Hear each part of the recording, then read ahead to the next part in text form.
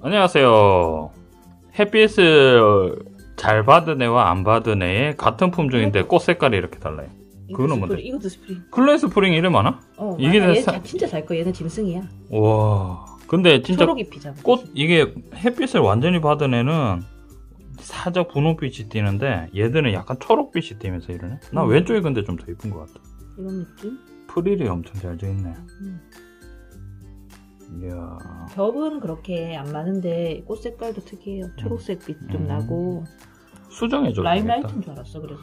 근데 이게 라임라이트. 근데 햇빛을 받고 안 받고 이파리 색깔만 차이 날 줄 알았는데 꽃 색깔도 차이가 나네. 어, 꽃 색깔 여보 음. 온도도 그렇고 더워지면 더 진해지고 음. 비료 줘도 진해져요. 아 온도도 그렇고 햇, 햇빛을 많이 받고 안 받고야 온도 때문이야. 온, 온도도 있고 햇빛 차이도 있고 여러 음. 가지 그리고 비료를 많이 주냐 안 주냐에 따라서도 꽃잎 색깔이나 모양이 조금씩은 달라질 수 있는 거네. 어, 비료 먹으면 꽃이 달라 색깔이 달라져요 갑자기. 와 근데 진짜 사진상으로 잘 모를까? 직접 봐야 알지. 어, 땅꽃인 줄. 이 색깔 예쁘다. 어, 이건 진짜 예쁘네. 이거 약간 좀 카메라에는 좀 노란빛이 띄는데 실제는 연두 연두색이 나면서 진짜 예쁘네.